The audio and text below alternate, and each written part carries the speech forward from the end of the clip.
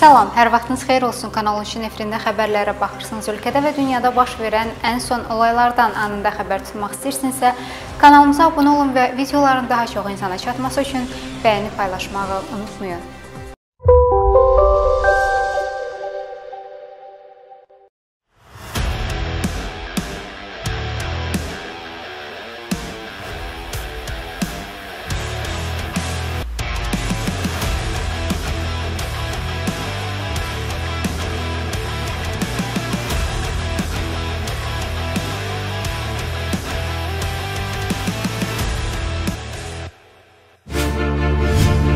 Rusiyanın Rusiya 1 telekanalındakı 60 dəqiqə proqramında Rusiya Dövlət Dumasının İqtisadi Siyasət Komitəsinin sədr müavini, iqtisadçı və publisist Mixail Telyaginin Azərbaycan və digər dövlətlər barədə səsləndirdiyi fikirlər həm Rusiyada, həm də Azərbaycanda böyük səs-küyə səbəb olub. Onun ən çox səs-küyə səbəb olan fikirləri isə məhz Azərbaycanla bağlı səsləndirdiyi fikirlər olub. O deyib ki, Azərbaycanı cəzalandırmaq lazımdır. Stat: Azərbaycan Qarabağ Qarabağdakı atəşkəsi pozub, irəliləyək və yeni mövqelərdən də geri çəkilmirlər. Yəni dediyim odur ki, Amerikanın satelitlərinin belə aqressiya siyasəti var. Onun da qarşısı alınmalıdır. Azərbaycan indi real təhlükədir. Onu sərt cəzalandırmaq lazımdır. Statın sonu. Daha sonra o bildirib ki, Azərbaycan nefti Rusiyaya lazım deyil və Azərbaycan neft sənayesi çox müdafiəsizdir. Daha sonra Mikhail Delyagin Rusiya-Ukrayna münasibətlərinə toxunaraq deyib ki, Ukraynanın ərazisində normal dövlət idarə etməni və hakimiyyəti bərpa etmək lazımdır.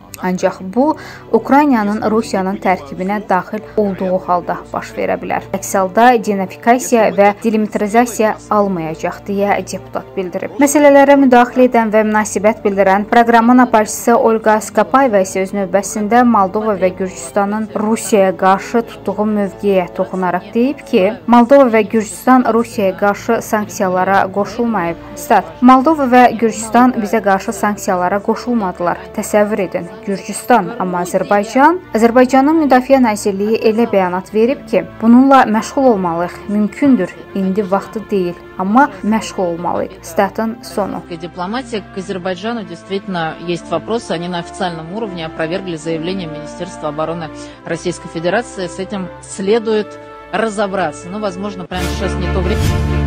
Görünür Mixail Dilyagin efirdə səsləndirdiyi sərsəm fikirlərlə yetinməyib, öz Telegram kanalında da bu fikirlərini davam etdirib. Belə ki, Rusiyalı deputat özünün rəsmi Telegram kanalında Azərbaycanla bağlı sorğu yerləşdirib. Sorğuda o izləyicilərindən Azərbaycan neft sənayesinin məhv edilməsi üçün taktiki nüvə silahından istifadə olunmasını düzgün hesab edib etmədiklərini soruşub. Onun keçirdiyi sorğunun nəticəsi isə belə olub. 33% bəli lazımdır cavabını verib. 14% bəli, lakin Azərbaycan mafiyasının Rusiya hökumətinə təsiri səbəbindən bu mümkün deyil deyə cavab verib. 53% isə xeyr, bu yol verilməzdir deyə onun bu sərsəm sualına cavab verib.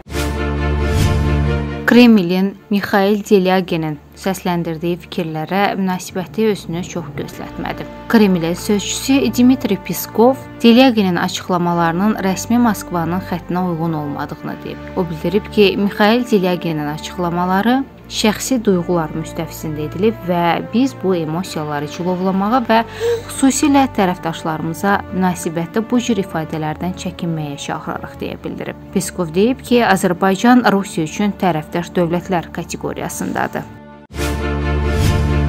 Bu gün İstanbulda Rusiya-Ukrayna danışıqlarının növbəti raundu başlayıb. Görüşdə Rəcəb Tayyib Ərdoğan nümayəndə heyətləri qarşısına çıxış edərək deyib ki, danışıqlarda irəliləyiş Ukrayna və Rusiya prezidentlərinin görüşünə yol açacaq. Öz növbəsində Ukrayna prezidenti Vladimir Zelenski bildirib ki, Ukrayna neytrallığını bəyan etməyə və ölkənin şərq hissəsində sülhün təminatı üçün kompromisi nəzərdən keçirməyə hazırdır. O deyib ki, Ukraynanın danışıqlarda prioriteti suverenliyi və ərazi bütövlüyüdür. Xatırladaq ki, indiyənədək tərəflər arasında həm üzbəüz, həm də video əlaqə vasitəsilə danışıqlarda proqres əldə edilməyib. Hakkaniyete dayalı sürdürülebilir bir çözüme ulaşabileceğinize eminim. sizlerin müzakerelerde sağlayacağınız ilerleme bir sonraki aşama olan liderler düzeyindeki teması da mümkün hale getirecektir. Böyle bir görüşmeye de ev sahipliği yapmaya hazırız. Sizlerin burada bir araya gelmesi bile dünyada ve ülkelerinizde başlı başına bir umut sebebidir. Barışa giden yoldaki gayretlerinizin hayırlı neticelere dönüşmesini temenni ediyorum.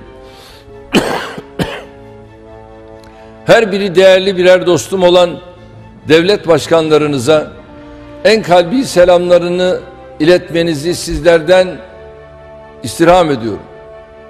Yürüteceğiniz müzakerelerde hepinize başarılar diliyorum. Teşekkür ediyorum. Bugün İstanbulda keçirilən Rusiya-Ukrayna danışıqlarının növbəti raundunda diqqət çəkən bir neçə məqam olub. Financial Times-ın verdiyi xəbərə görə Rusiya danışıqların gedişində Ukraynanın denasifikasiyasını tələb etmir və ölkənin neytral statusu müqabilində Avropa Birliyinə daxil olmasına razılıq verməyə hazırdır. Nəşr bildirib ki, Moskva və Kiyev arasında aparılan danışıqlarda Ukraynanın təhlükəsizlik təminatı və Avropa Birliyinin üzvlük müqabilində NATO NATO-ya daxil olmaqdan imtinası çərçivəsində konfliktin tənzimlənməsi müzakirə olunub. Razılaşma layihəsində Rusiyanın demilitarizasiya, denasifikasiya və rus dilinin müdafiəsi kimi 3 ilkin şərt yoxdur. Lakin buna baxmayaraq Ukrayna və Qərb ölkələri Rusiya prezidenti Vladimir Putinin niyyətlərinə hələ də bədbin yanaşırlar. Onlar hərbi qüvvələrini artırmaq və yeni hücuma başlamaq üçün danışıqlardan tüstü pərdəsi kimi istifadə oluna bilər ediləcəyindən narahatdırlar. Tərəflərin müzakirə etdiyi razılaşmaya görə Ukrayna nüvə silahı hazırlamaqdan, öz ərazisində xarici ölkələrin hərbi bazalarını yerləşdirməkdən və NATO-ya üzvlük cəhdlərindən imtina etməlidir. Bunun əvəzində Ukrayna 11 ölkənin, ABŞ-ın, Almaniyanın, Böyük Britaniyanın, Çinin, Fransanın, İsrailin, İtaliyanın, Kanadanın, Polşanın, Rusiyanın və Türkiyənin ratifikasiya edəcəyi təhlükəsizlik təminatı alır. Bu gün İstanbulda keçirilən Ukrayna-Rusiya nümayəndə heyətlərinin görüşündə Ukrayna Rusiya ilə razılaşmanın əldə olunması üçün şərtlərini açıqlayıb. Ukraynanın Xalq Xidmətçisi Partiyasının Ali Radadakı deputat fraksiyasının rəhbəri David Araxamiya brifinqdə deyib ki, beynəlxalq razılaşma hər hansısa təzyiq altında gerçəkləşərsə, bu tamamilə etibarsız sayılar. Bunun etibarlı olması üçün isə ilk növbədə Ukrayna ərazisində heç bir hərbiçi qalmamalıdır və Ukrayna torpaqlarını tərk etməlidirlər. O deyib ki, düşmən hərbiçilər Ukrayna ərazisində olduğu təqdirdə heç bir anlaşma imzalana bilməz. Daha sonra David Viyana konvensiyasını yada salaraq deyib ki, Rusiya da Ukrayna da bu konvensiyaya qoşulub və konvensiyanın şərtlərinə əməl edilməlidir. İlk öncə Rusiya hərbiçiləri ölkədən çıxarılmalı, daha sonra isə Ukraynanın 3 milyondan çox qaçqını ölkəsinə qayıtmalıdır. Azərbaycan Müdafiə Nazirliyi müharibə veteranı adının verilməsi ilə bağlı son günlər sosial şəbəkələrdə yayılan müraciətlərə cavab verib. Nazirlikdən deyilib ki, bəzi şəxslər müharibə veteranı adının verilməsi ilə bağlı əsassız tələblərini sosial şəbəkələrdə yayımlamaqla ictimaiyyəti çaşdırmağa və aidiyyatı qurumlara sosial təsir göstərməklə məsələnin həllinə nail olmağa çalışırlar. Səfərbərliklə cəlb edilən bəzi vətəndaşlar tamamlama məntəqələrində olduqları üçün birbaşa döyüş əməliyyatlarında iştirak etmədiklərinə görə onlara müharibə veteranı adının verilməsi Nazirlər Kabinetinin müvafiq qərarlarının tələblərinə uyğun deyil deyə Müdafiə Nazirliyindən bildirilib. Nazirlikdən deyilib ki, bu mövzu ilə bağlı vətəndaşlardan daxil olan bütün müraciətlər əsasında məlumatların araşdırılması və qeydlərin düzgünlüyünün dəqiqləşdirilməsi işi davam etdirilir. Ramazan ayı ilə bağlı Qafqaz Müsəlmanları İdarəsinin Qazılar Şurası fətva qəbul edib. Qazılar Şurası bu ilki Ramazan fətvasını dindarlarımızın nəzər diqqətinə təqdim edir və bildirir ki, Qafqaz Müsəlmanları İdarəsinin müvafiq sorğusuna əsasən Azərbaycan Milli Elmlər Akademiyası Şamaxı Astrofizika Rəsədxanasının hesablamalarına görə bu il üfüqümüzdə hilalın aprelin 1-i görünməsi Ramazan ayının 1-i miladi təqvimlə 2022-ci il aprelin 2-sinə təsadüf edəcək. Bax belə, bu günlük və bu saatlıq bizdən bu qədər. Görüşmək ümidi ilə hələlik.